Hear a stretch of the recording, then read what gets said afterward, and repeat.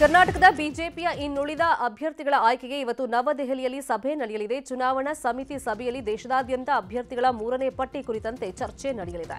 ಕರ್ನಾಟಕದಲ್ಲಿ ಎದ್ದಿರುವಂತಹ ಬಂಡಾಯದ ಕುರಿತು ಸಭೆಯಲ್ಲಿ ಚರ್ಚೆ ನಡೆಯಲಿದೆ. ಚಿಕ್ಕಬಳ್ಳಾಪುರ, ಉತ್ತರ ಕನ್ನಡ, ಬೆಳಗಾವಿ, ಚಿತ್ರದುರ್ಗ, ರಾಯಚೂರು ಬಿಜೆಪಿ ಅಭ್ಯರ್ಥಿಗಳ ಹೆಸರು ಇವತ್ತು ಫೈನಲ್ ಆಗುವಂತ ನಿರೀಕ್ಷೆ ಇದೆ. ರಾಜ್ಯದ ಇಪ್ಪತ್ತೊಂದು ಕ್ಷೇತ್ರಗಳಿಗೆ ಇವತ್ತು ಅಭ್ಯರ್ಥಿಗಳು ಫೈನಲ್ ಆಗ್ತಾ ಇದ್ದಾರೆ. ಕಲಬುರಗಿಯಿಂದ ಮಲ್ಲಿಕಾರ್ಜುನ ಖರ್ಗೆ ಅಖಾಡಕ್ಕೆ ಇಳೀತಾರಾ ಅಂತ ಚರ್ಚೆಗಳು ಜೋರಾಗೇ ಇವೆ. ಕಲಬುರಗಿಯಿಂದ ಸ್ಪರ್ಧೆಗೆ ಖರ್ಗೆ ಮೇಲೆ ಡಿಕೆ ಶಿವಕುಮಾರ್ ಒತ್ತಡವನ್ನ ಹಾಕಿದ್ದಾರೆ. ಸ್ಪರ್ಧಿಸಿ ಗೆಲ್ಲುವ ಜವಾಬ್ದಾರಿ ನಮ್ಮದು ಅಂತ ಅಭಯವನ್ನ ನೀಡಿದ್ದಾರಂತೆ ಡಿಸಿಎಂ ಡಿಕೆ ಶಿವಕುಮಾರ್ ಅವರು. ಈ ಬಗ್ಗೆ ಡಿಕೆಶಿ ಇವತ್ತು ಸೋನಿಯಾ ಗಾಂಧಿ ಹಾಗೂ ರಾಹುಲ್ ಗಾಂಧಿ ಅವರ ಜೊತೆ ಚರ್ಚೆಯನ್ನು ಮಾಡಲಿದ್ದಾರೆ. ಬೆಂಗಳೂರು ಗ್ರಾಮಾಂತರ ಕ್ಷೇತ್ರದಲ್ಲಿ ಡಾಕ್ಟರ್ ಸಿಎನ್ ಮಂಜುನಾಥ್ ಹಾಗೂ ಡಿಕೆ ಸುರೇಶ್ ಸ್ಪರ್ಧೆ ಫಿಕ್ಸ್ ಆಗಿದೆ. ಮಾಜಿ ಸಚಿವ ಯೋಗೇಶ್ವರ್ ಪುತ್ರಿ ನಿಶಾ ಯೋಗೇಶ್ವರ್ಗೆ ಕಾಂಗ್ರೆಸ್ ಗಾಳ ಹಾಕಿದೆ ಎನ್ನಲಾಗಿದೆ. ನಿಶಾ ಯೋಗೇಶ್ವರ್ ಕಾಂಗ್ರೆಸ್ ಸೇರ್ಪಡೆ ಆಗುವ ಸಾಧ್ಯತೆ ಇದೆ ಅಂತ ಹೇಳಲಾಗ್ತಾ ಇದೆ. ಸುರೇಶ್ ಪರ ಪ್ರಚಾರಕ್ಕೆ ಧುಮುಕುವಂತೆ ಸಮಾಲೋಚನೆಯನ್ನು ಮಾಡಿದ್ದಾರೆ ಎನ್ನಲಾಗಿದೆ. ಬೆಳಗಾವಿಯ ಬಿಜೆಪಿ ಟಿಕೆಟ್ ಯಾರಿಗೆ ಅನ್ನೋ ಕುತೂಹಲಕ್ಕೆ ಇವತ್ತು ತೆರೆ ಬೀಳುವಂತಹ ಸಾಧ್ಯತೆ ಇದೆ. ಈಗಾಗಲೇ ಶೆಟ್ಟರ್ ದೆಹಲಿಯಲ್ಲಿ ಬೀಡು ಬಿಟ್ಟಿದ್ದಾರೆ ಬೆಳಗಾವಿ ಟಿಕೆಟ್ ಶೆಟ್ಟರ್ಗೆ ಫಿಕ್ಸ್ ಆಗಿತ್ತು. ಆದರೆ ಯತ್ನಾಳ್ ದೆಹಲಿಯ ಭೇಟಿಯಿಂದ ಚಿತ್ರಣ ಬದಲಾಗುವಂತಹ ಸಾಧ್ಯತೆ ಇದೆ ಅಂತ ಎನ್ನಲಾಗಿದೆ. ಬೆಳಗಾವಿ ಲೋಕಸಭಾ ಕ್ಷೇತ್ರದಿಂದ ಜಗದೀಶ್ ಶೆಟ್ಟರ್ ಸ್ಪರ್ಧೆಗೆ ಸ್ಥಳೀಯ ನಾಯಕರ ವಿರೋಧ ಜೋರಾಗಿದೆ. ಈ ಸಂಬಂಧ ಇವತ್ತು ರಾಜ್ಯ ಬಿಜೆಪಿ ನಾಯಕರು ಬಿಎಸ್ ಯಡಿಯೂರಪ್ಪ ರಾಜ್ಯ ಚುನಾವಣಾ ಉಸ್ತುವಾರಿ ರಾಧಾ ಮೋಹನ್ ದಾಸ್ ಅಗರ್ವಾಲ್ರನ್ನ ಭೇಟಿಯಾಗಲಿದ್ದಾರೆ. ರಾಜ್ಯಸಭಾ ಸದಸ್ಯ ಈರಣ್ಣ ಕಡಾಡಿ, ಶಾಸಕ ಅಭಯ್ ಪಾಟೀಲ್, ಅನಿಲ್ ಬೆಲಕೆ, ಮಹಂತೇಶ್ ಕವಟಗಿ ಮಠ ಸೇರಿದಂತೆ ಎಂಟಕ್ಕೂ ಅಧಿಕ ನಾಯಕರಿಂದ ರಾಜ್ಯ ನಾಯಕರ ಭೇಟಿಯಾಗುತ್ತೆ. ಮಂಡ್ಯ ಸಂಸದೆ ಸುಮಲತಾ ಅಂಬರೀಶ್ ದೆಹಲಿಯಲ್ಲಿದ್ದು ಟಿಕೆಟ್ಗಾಗಿ ಅಂತಿಮ ಕಸರತ್ತನ್ನು ನಡೆಸುತ್ತಿದ್ದಾರೆ ಮಂಡ್ಯ ಟಿಕೆಟ್ ಈಗಾಗಲೇ ಜೆಡಿಎಸ್ಗೆ ಫಿಕ್ಸ್ ಅಂತ ಹೇಳಲಾಗ್ತಿದ್ದು, ಸುಮಲತಾ ನಡೆ ನಿಗೂಢವಾಗಿದೆ. ಮಂಡ್ಯ ಇನ್ನೂ ಫೈನಲ್ ಆಗಿಲ್ಲ ಎಂದಿರುವ ಸುಮಲತಾ, ಇವತ್ತು ಅಮಿತ್ ಶಾ ಅವರನ್ನ ಭೇಟಿಯಾಗಲಿದ್ದಾರೆ. ಬೆಂಗಳೂರು ಉತ್ತರ ಕ್ಷೇತ್ರದಲ್ಲಿ ಬಿಜೆಪಿ ಟಿಕೆಟ್ ಕೈ ತಪ್ಪಿದ್ರಿಂದ ಬೇಸರಗೊಂಡಿರುವಂತಹ ಡಿವಿ ಸದಾನಂದಗೌಡಗೆ ಕಾಂಗ್ರೆಸ್ ಆಫರ್ ಅನ್ನು ಕೊಟ್ಟಿದ್ದು, ಇವತ್ತು ತಮ್ಮ ನಿರ್ಧಾರ ಪ್ರಕಟಿಸುವಂತ ಸಾಧ್ಯತೆ ಇದೆ. ಇವತ್ತು ಸಂಜೆ ಡಿವಿಎಸ್ ಸುದ್ದಿಗೋಷ್ಠಿಯನ್ನು ಕರೆದಿದ್ದು, ತಮ್ಮ ಮುಂದಿನ ನಡೆ ಏನು ಅಂತ ಘೋಷಣೆ ಮಾಡುವಂತ ಸಾಧ್ಯತೆ ಇದೆ.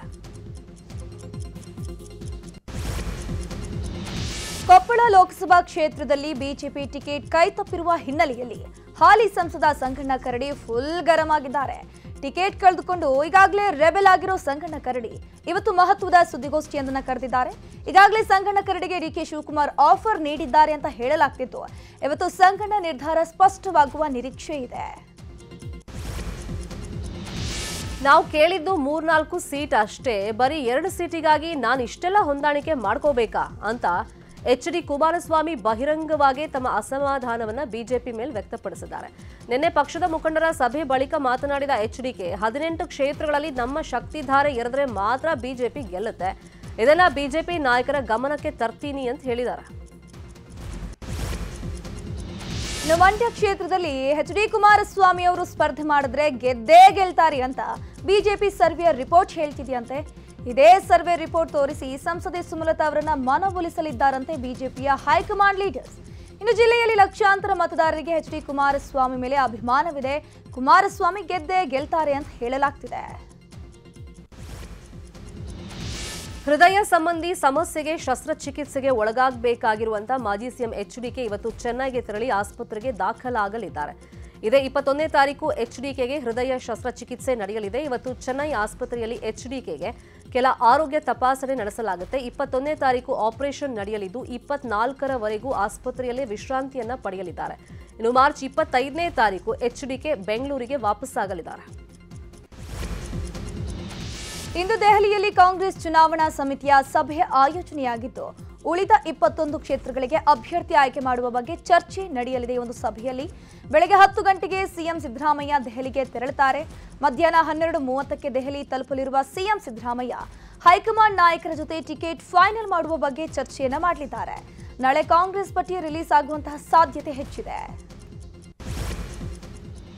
ಬೆಳಗಾವಿಯಲ್ಲಿ ಕಾಂಗ್ರೆಸ್ ಟಿಕೆಟ್ ಇನ್ನೂ ಕೂಡ ಫೈನಲ್ ಆಗಿಲ್ಲ, ಆದರೆ ಟಿಕೆಟ್ ಆಕಾಂಕ್ಷಿಯಾಗಿರುವಂತಹ ಸಚಿವ ಸತೀಶ್ ಜಾರಕಿಹೊಳಿ ಪುತ್ರಿ ಪ್ರಿಯಾಂಕಾ ಜಾರಕಿಹೊಳಿ ಈಗಾಗಲೇ ಭರ್ಜರಿ ಪ್ರಚಾರ ಕಾರ್ಯದಲ್ಲಿ ತೊಡಗಿಕೊಂಡಿದ್ದಾರೆ.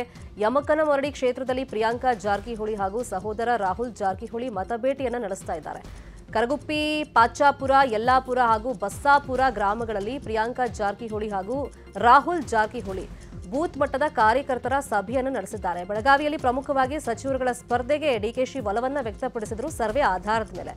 ಆದರೆ ಯಾವುದೇ ಕಾರಣಕ್ಕೂ ನಾವಂತೂ ನಿಲ್ಲಲ್ಲ. ನಮ್ಮ ಫ್ಯಾಮಿಲಿ ಮೆಂಬರ್ಸ್ಗೆ ಟಿಕೆಟ್ ಕೊಡಿ ಅಂತೇಳಿ ಸಚಿವರುಗಳು ಪಟ್ಟನ್ನ ಹಿಡಿದಿದ್ದಾರೆ. ಪ್ರಮುಖವಾಗಿ ಬೆಳಗಾವಿಯಲ್ಲಿ ಲಕ್ಷ್ಮಿ ಹೆಬ್ಬಾಳ್ಕರ್ ಮಗ ಮೃಣಾಲ್ಗೆ ಟಿಕೆಟ್ ಕೊಡಬೇಕು. ಅದೇ ರೀತಿ ಚಿಕ್ಕೋಡಿಯಲ್ಲಿ ಸತೀಶ್ ಜಾರಕಿಹೊಳಿ ಪುತ್ರಿ ಪ್ರಿಯಾಂಕಾ ಅವರಿಗೆ ಟಿಕೆಟ್ ಕೊಡಬೇಕು ಅಂತ ಹೇಳಿ ಎರಡೂ ಕಡೆಯಿಂದ ಲಾಭಿ ಜೋರಾಗಿ ನಡೀತಾ ಇದೆ. ಪರಸ್ಪರ ಟಿಕೆಟ್ ತಪ್ಪಿಸೋ ಪ್ರಯತ್ನಗಳು ಕೂಡ ಕಾಂಗ್ರೆಸ್ ಅಲ್ಲಿ ಆಗ್ತಾ ಇದೆ ಅಂತ ಹೇಳಲಾಗ್ತಾ ಇದೆ. ಫೈನಲಿ ಹೈಕಮಾಂಡ್ ಮಧ್ಯಪ್ರವೇಶ ಮಾಡಿ ಒಂದು ಗಡುವನ್ನು ಕೊಡ್ತು, ಆದರೆ ಆ ಗಡುವಿನ ಒಳಗೆ ಯಾರೂ ಡಿಸೈಡ್ ಮಾಡ್ಕೊಳ್ಳೇ ಇಲ್ಲ. ಮೈಸೂರಿನಲ್ಲಿ ಬಿಜೆಪಿ ಅಭ್ಯರ್ಥಿ ಯದುವೀರ್ ಒಡೆಯರ್ ಪ್ರಚಾರವನ್ನು ಕೈಗೊಂಡಿದ್ದಾರೆ. ಚಾಮುಂಡಿ ಬೆಟ್ಟದ ತಪ್ಪಲಿನಲ್ಲಿರುವಂತಹ ಸುತ್ತೂರು ಮಠಕ್ಕೆ ಯದುವೀರ್ ಭೇಟಿ ಕೊಟ್ಟಿದ್ದಾರೆ. ಗನ್ ಹೌಸ್ ವೃತ್ತದಲ್ಲಿ ಅರಮನೆಯ ವಿರೋಧದ ನಡುವೆಯೂ ಸುತ್ತೂರು ರಾಜೇಂದ್ರ ಶ್ರೀಗಳ ಪ್ರತಿಮೆಯ ನಿರ್ಮಾಣವಾಗಿತ್ತು. ಇದು ಅರಮನೆ ಹಾಗೂ ಸುತ್ತೂರು ಮಠದ ನಡುವೆ ಹಗ್ಗ ಜಗ್ಗಾಟಕ್ಕೆ ಕಾರಣವಾಗಿತ್ತು. ಇದರ ನಡುವೆಯೂ ಕೂಡ ಯದುವೀರ್ ಸುತ್ತೂರು ಮಠಕ್ಕೆ ಭೇಟಿ ಕೊಟ್ಟಿದ್ದಾರೆ.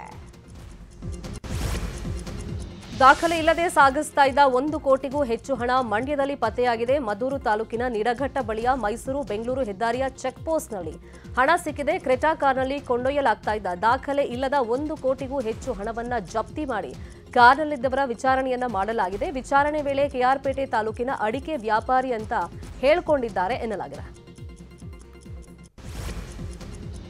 ದಾಖಲೆ ಇಲ್ಲದೆ ಹಣ ಸಾಗಾಟ ಮಾಡಲಾಗ್ತಿರುವಂತಹದ್ದೊಂದು ಪ್ರಕರಣ ಬಯಲಿಗೆ ಬಂದಿದೆ. ನಾಲ್ಕು ಲಕ್ಷ ರೂಪಾಯಿ ವಶಕ್ಕೆ ಪಡೆದಿರುವಂತಹ ಘಟನೆ ಬೆಳಗಾವಿ ಜಿಲ್ಲೆಯ ನಿಪಾಣಿ ತಾಲೂಕಿನ ಕುಗನೋಳಿಯಲ್ಲಿರುವಂತಹ ಚೆಕ್ ಪೋಸ್ಟ್ನಲ್ಲಿ ನಡೆದಿದೆ.